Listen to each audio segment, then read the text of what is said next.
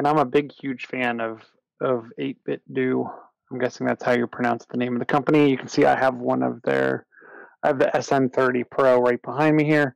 Um, they've announced a new arcade stick, and if you remember back in the day, the old Nintendo was it the Nintendo Arcade? I remember they had the, NES N- Advantage The too. NES but- Advantage was the one that I had. Yeah, that uh, was like the go. the Advantage was the joystick. Yep.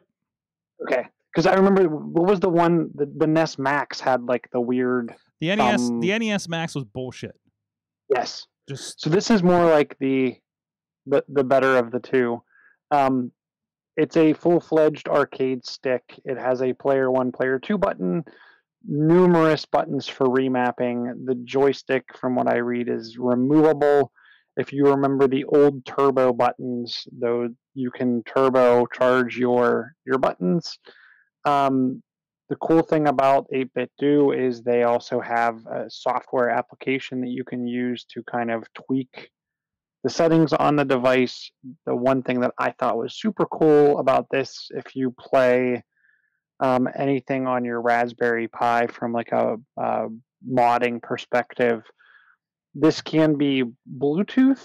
Hmm. There's a like tuck away 2.4 gigahertz USB receiver, and for people that are think that wireless has too much lag for the professionals, um, it can be wired into the device as well. I've had some hit or miss with Bluetooth on like Raspberry Pis and whatnot, trying to get that configured depending on what you're running from like a RetroPie or or whatever perspective. Um, it will work in a couple different modes too. With um, it'll actually work with Nintendo Switch Hmm. Um, as well as PCs and other devices alike. Um, so just an all-around nice looking uh, joystick, along with you know being able to use it with a ton of different uh, setups, as well as also being their, I think they call it alt is it ultimate? Yeah, the 8BitDo ultimate software um, lets you remap buttons and also lets you create macros. So I love this. They're- So- they're showing like if you're a modder, uh, like you talk about like kind of the joystick being able to take off, but like they're showing you can open this up, and if you're like a, a you know a joystick modder, like you can go in and change the buttons in and everything too. Like it's uh, and, and, and actually make adjustments, I guess, to Mhm. to how how firm they are and things like that. So that's cool. That's cool. it, even at the ninety dollar, I think ninety dollars might be expensive for for some to just buy a joystick. I think that I look at for for how many devices you can use this with, Yeah, the yeah. different connectivity, and even if you didn't want to mod it, but hey, the button broke, Mhm. you could you could probably work if you're if you're into buying this type of thing, you can probably work your way through a button replacement because it's so large. It's not like you're taking apart an iPhone. Yeah. Um, it's a pretty large device, and I, they said it also has nice weight. Um, so if whether you're putting it on some kind of tabletop or you want to just set it on your lap, there's there's a nice nice weight to it. Um, I- say not the prettiest, but again, if you're you're kind of throwing back to that NES Advantage kind of uh, uh, look to it, I think it's it's really it's really cool. So as long as it works and feels good, I want to stay on the Nintendo side for for a moment here. Um, we actually so so every Monday night we have this Monday Mayhem Warriors show, which we finally settled on a name, and it's really just Mad Mike and me just kind of coping with the fact that Monday Night Raw sucks, and he tells me about what Legos he's working on, or we talk about WandaVision or The Mandalorian, right? I know it's a wrestling podcast, uh, but this week I, I wanted to share this one because this was really cool. We talked about on here before the uh, Nintendo uh, a Lego kit. Is that is, right? Like that's something that's come up, right? The one that's like the Nintendo system and the TV and everything like that. So he's showing it off last night, and uh, there's a video over a Wrestling Mayhem show um, on on YouTube, and and again it's from the last night's show. And uh, so he's showing me this, and the TV he's picking up the TV, which looks heavy, and I'm like, how is how is that thing so heavy? You know, it's the Mario, and he moves up and down, and, and there's like kind of a Lego brick, um, um, like kind of pattern uh, behind him. It just looks like a little kind of diorama thing. But the thing I didn't realize, it moves. You build a device with a crank, and it scrolls the background behind Mario as you move him on the TV. so it just and this is an official Lego set. I I haven't seen like something that m- turned into that hefty of a device with the there's definitely bricks like scrolling around on some kind of wheel inside the thing you built. so this is this is a big set. This is like a two hundred fifty dollars set. I looked it up after the show. It's crazy, but um, and, and let's say everything like the plugs, the RCA plugs look look right and everything like that. So I, I just thought that's something that uh, the audience over here would would enjoy. So um, I don't have the patience for Lego kits. I really should. I guess it's a good mindfulness thing, but uh, I'm just not up for it. So um, he's built everything. He's built like the um, the giant Hogwarts castle, and, and my ar- my arms are outstretched because that is how big it is. Um, like like super set that they, they have, like it's all segmented and everything like that. So, um, what else do we have here, Katie? What is going on in the social media world here? Uh, so Facebook and Instagram are improve. They're both improving their AI for captions, image captions. Um, when you know when you when you're posting photos, you should be going in and um, essentially like adding a description to your photo. So if someone was uh, blind or having a, a visually or visually impaired, they'll be able to tell what's in your photo because it reads um it'll read the caption out loud. And uh, essentially the alt it's called the alt text i couldn't think of the word the alt text is the phrase but essentially it's like the metadata within your photo. So it tells if you've ever taken a photo and you've adjusted that um, but um, it's the ai so in case you're not putting those descriptions on your photos it is able to dig a little deeper instead of just being uh, the example i give is like this is an image maybe a person of one maybe an image of a person standing at machu picchu and now they're like maybe an image of five people including this person playing musical instruments two people are standing two hats five drums so it's a much broader description which is really really cool and it's it's amazing how well it's we, we should be further along with the ai i think as far as this kind of stuff goes but it's um they kind of it's a huge jump from where they've been to where they are now which is exciting and um, giving the position of the different photo people in the photo it's, it's really neat so mm-hmm. in case you, you're not adding image descriptions for your alt text on your uh, photos, uh, people who are blind or visually impaired will still be able to enjoy them. So is this is this happening across the board, regard regardless of opt-in at this point? Yeah, it sounds like it's just a thing that is just happening. Because yeah. I mean, um, and you know, the the general poster, you know, is not doing this. Like, mm-hmm. isn't even thinking about like the only reason we do because we work in the space, right? Mm-hmm. Um, so so that's good because you're not going to get you're not going to get a mass amount of people to do this, and then you basically have just like have a white slate on half of it for for the for the impaired um, when you're doing visuals. And I've never, and I, I need to dive a little deeper into this, but I've never, um, I don't know how much it impacts the searchability of your photos mm-hmm. on Facebook and Instagram because essentially, because it is metadata that if you were searching, you were Googling an image of something and you have in your alt text, uh, I'm looking for a white horse in a field or whatever, mm-hmm. um, was an example. Uh, if that would pop up because the the alt text being on there, and if the AI was able to assist with that, I don't. But I haven't, yeah, I haven't really seen a lot of information in regards to that. If it um, helps with the searchability. So it looks like um, it's saying here in the in the TechCrunch article, uh, the new detailed description will uh, come to Facebook first for testing, though the improved vocabulary will appear on Instagram soon. So, you know, kind of behind the scenes, but it helps out um, um, other people. So, mm-hmm. um, there you go. Um, and uh, um, uh, Amanda, I, I, saw a note in here of something that you've been uh, trying out, and I actually so so you brought up Clubhouse in the Slack and the invites, and I messaged you right after they were talking about it on TWiT. Uh, because uh, Leo and, and I Justine were actually discussing it and uh, and and and helped me sell on because like again looking at it like I didn't really get the concept, um, but that really kind of drove it home. Uh, uh can you explain to everybody what what Clubhouse is? So Clubhouse is if you would take the AOL chat rooms and have speakers and then listen to it live. Mm-hmm. So like take like a, a panel of people and just but it, it, it, could be anybody like i was on the other night um, i happened to go into this chat room that was pittsburgh musicians and they asked me to be on the panel to speak and I, I I declined because I didn't know anybody in the room, obviously. But like literally, and it, it's um the way I can really just that's the best way to describe it. It's basically like on demand conferences that you can listen to speakers. And it's everything from um, I was in a social media speak yesterday where they were just talking about brand and advancements and like how to reach bigger customers and like audiences to um Gary Vee was talking the one day just for 20 minutes and you but you got like and it's a chat room so they can literally reach out to you and ask you to talk and or you can raise your hand and talk. So there's a little bit more interaction there than your typical like sit in a conference room and listen to a person talk for two hours. Um something locally i'm part of a, a all women's group called um gather and grow and they're using it three times a week to just have gab sessions while we listen to music just to be like a supportive group. Mm-hmm. um like yeah i was on with tiktokers the other day and instagram influencers for an hour.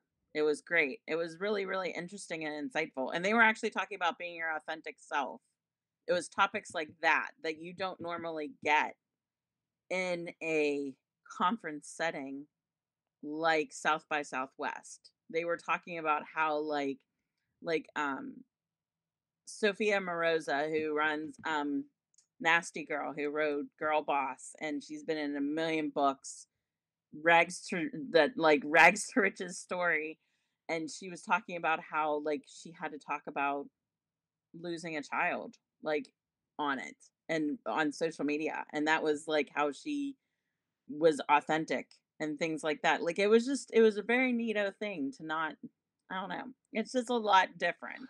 It's, it's so so the barrier for me is always like kind of jumping in on something like this because that's what I hear like oh so and so came in let's let them in like I, I I'm and even I think I was in a room actually while we were discussing this. Like I'm seeing like daily habits for high performers with like 400 people in there, 24 hour vibes, introduce yourself, stock market gems. It is a little bit mm-hmm. of like I feel like I feel like it's like, well, what's this versus a Zoom meeting? But I guess it's like, what if you had an open Zoom meeting, which feels so dangerous because I remember when we had open Google Hangouts in the early days and the weird things that would happen on our shows. Uh, but, um, but oh, I'm still in it. That's the why is my name still there? That's interesting. Uh, but, and the cool thing is, is like you don't get to talk unless the panel people tell you you can talk. yeah, So you can raise your hand. Yeah. So there isn't like any of that type of weird stuff going on. But it's you know what I really think of it as like remember the boot camps like of years and years ago and kind of like what we based PodCamp on hmm and where you could just jump from room to room to room to learn from anybody and everybody. It's almost like that on a larger scale. yeah, yeah. I can see it. It's a digitized version of that. Wait, wait. Are you saying? Are you saying? Are you saying we can bring back PodCamp digitally through this concept? Is that what's happening right now? we Not- probably could not to start a rumor here, but but I I do still have the dot com. Um, am I free to Is it- welcome? Oh, Katie just signed up for this. Uh, so Is it is it just audio or is there like a video screen share aspect to it? just video or just audio i'm sorry just audio so you just literally put in your headphones and can be doing i was painting walls while listening to it like i was writing last week listening to it i just didn't i didn't have to pay it, it, i almost did it through osmosis basically huh huh. So it's a nice little background thing, kind of in lieu of a podcast, but it's actually live people. So that'll be interesting. I I hope it. It's interesting. I I'm worried. I'm worried that like like all the influency people will ha- latch onto it and that's it. You know what I mean? And that's that's not enough for this app to keep going. But um, you know, we'll, we'll, we'll all be talking to each other about how we can talk to each other better. and um, but uh, but it's. But it's in invite only mode now. Uh, that's how I got in. Uh, uh, thanks to you, Amanda. Uh, so, but if you look up Clubhouse, it's the one with a dude with dude talking. so, uh, like it's a black and white photo, and you feel like it's something else. But um, Chilla was already taken. ah, You can reserve your name. Okay. Yeah, you can. And uh, I have invites left, so There you go. definitely. hit, hit- hit up Amanda. I have a I have a I have an invite invites now, so we can we can expand the awesome universe in this app. So I think I'm still in a room with you, Katie. Am I? Is that what's happening? Are you seeing this? I'm like, I'm adding interest. I I think it's interesting that it it wanted to pull my info from Twitter. Yes. Like it filled I out my entire thought that was- profile from from Twitter. I think it had other options too, didn't it? It it just gave me Twitter as Okay. my option. I don't know, maybe it, and and now I'm I can add interest. I don't I don't have interest. Uh, yeah, the interests are weird because like you look in and it says you know they're they're ha- what you're having conversations about when you get in here. It's like hanging out, wellness, identity, places, world affairs, arts. and, Like they're so broad. Hustle. That was the one I was looking for. That was where the weird ones were because that was the, at the top of my list was hustle, and I guess that's where you find your TikTok people and everything like that. So. Um, but um, yeah, there's some Instagram Instagram marketing secrets, tips, tricks. Actually, this actually might be um, pretty good, and, and they do they do have uh, a lot of um, um, groups. Like um, let's see, there's like I, I just saw the Black Working Girl one, Women in Business, like you mentioned, Amanda. So there's a lot of options out there to find you know kind of people in whatever tribe you're in. So that's good. That's awesome. Clubhouse, check it out. Try to get in. Reserve your name. Hopefully, Chilla didn't grab it already. So, uh, from that, where are we at on time right now? I I'm, I keep looking at my phone, which says 9:41 a.m. when you plug it into anything. Uh, so I don't know what's happening. Um, it's it's about Chilla Pumpkin time, so I, I guess we can wrap things up here in a moment. Muppet Show coming to Disney Plus. I forgot to watch it once on Netflix, I think, or wait, maybe I got the DVDs. Was it on Netflix? Am I am I thinking that wrong? But either way, that that's a big one. That's a big one. Um, anything else big? I think that's about it. We talked about Legos. Okay, I gotta touch on this one real quick before we head out. There's a homebrew setup to use the Labo kit. That was the cardboard set you could get to kind of make other games or make a backpack robot thing that would move your guy on screen uh, from a little bit ago. Somebody reworked it to be able to do a full body Mario Kart workout. Or it looks like they turned it into like a, a bike kind of situation. And uh, you can you you basically have a Mario Kart exercise bike built out of Labo and home homemade uh, items as well. Uh, this looks pretty cool, and you know I was in that mind mindset with um with uh, Apple Fitness this week, so that was cool. Chilla at Chilla on the Twitters, but not on the Clubhouse. No, Chilla five seven nine on the clubhouse. It's a, it's a good If alternative. one of you, if you, if one of you would like to toss me an invite, I'd be be happy. There you go. Oh, I can invite Katie to speak. Let's see what's up there. Uh, so, um, and uh, Katie, Katie Dudas, the Dudders. You you were all over all the podcasts apparently now. yeah, I just keep popping up everywhere. I go away and then I just come back. I think people get annoyed over me and then I'm everywhere again. It's like she's releasing a book or something sometimes, and I'm like, what is she promoting? She's just around, just you know, show up. just and it- talk. it- it's just a, a periodic Dudders tour. yeah. Mm-hmm. So We talk. uh, we're Uh, ahead. Oh, sorry. Good. I was leaning into that. I'm Dutters on uh, Clubhouse now. Uh, Kate Marie PGH on Instagram, K Dutters on Twitter. I am horrible at social media. Uh, somebody who was good at this would probably have all the same handles across the board, but At least at least you're on TikTok now, and I'm not tagging whoever the hell that other person was. So Dutters PGH. That's me on TikTok. Look at it, because Dutters was already taken. it was like uh, K Dutters was already taken. I think that was Mhm. weird to me. So, but anyways, and Amanda Narcissi over at boldpgh.com, Bold Pittsburgh. Followed on your on your Apple News. I'm I'm sorry, I'm doing all your plugs for you. I'm just excited that I figured out the Apple News part.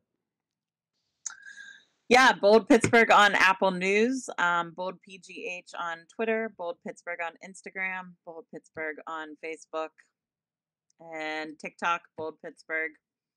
We're everywhere. There you go. Go follow all the things. Please follow everything at AwesomeCast, everything AwesomeCast at awesomecast.com and uh, the Patreon and such over there.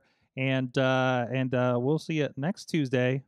I don't, I don't have a, I don't have a guest yet. We'll see what's going on. Uh, so, and uh, but uh, but also if you haven't yet, check out our conversations. I got videos clipped out with our uh, special guests the last couple weeks. Uh, last week, the Button Pusher with Grind City TV, and uh, Brian Sykes uh, of Start the Beat and the Normal Creatures. I was typing the wrong thing into YouTube. Um, but uh, th- those interviews are clipped out over on the YouTube page. If you want to just listen to those part with with whatever the week's tech was, you can you can uh, cut that out and get right to our conversations there too. Um, please go check everything. Please review us, especially on that op- Apple Podcast type app that you guys have out there if you are of that side. Um, thank you, guys. We'll see you next time. Uh, you have been our awesome audience. Have an awesome week.